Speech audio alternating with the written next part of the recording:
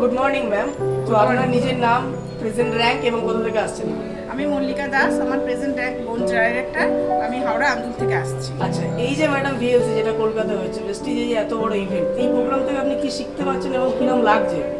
প্রথমত বলি এই প্রোগ্রামে এসে খুবই ভালো লাগছে কারণ এরকম একটা জিনিস শেখার সুযোগ যে ভেস্টিজ আমাদের করে দিয়েছে এর জন্য আমরা ভেস্টিজ মানে অল টিমের কাছে আমরা খুব মানে কৃতজ্ঞ।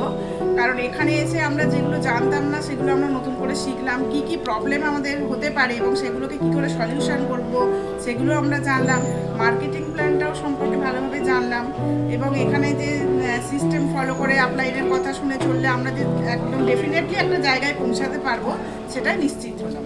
আচ্ছা তো আপনার ম্যাডাম এরপর যখন ভিএলসি হবে বা আপনি যেভাবে গ্রোথ করছেন, আপনার next future plan future plan বলতে আমি তো চাইবই যে এক বছরের মধ্যে আমার যেটা প্ল্যানিং আছে যে আমি নিজে গোল্ড ডিরেক্টর হব এবং আমার নিচে যারা যুক্ত আছে তাদেরকে এই ট্রেনিং সম্পর্কে তাদেরকে বলব যাতে তারাও মোটিভেট হয়ে আবার মানে কাজে উৎসাহ দেখায়। আচ্ছা thank you thank you ma'am you at the time you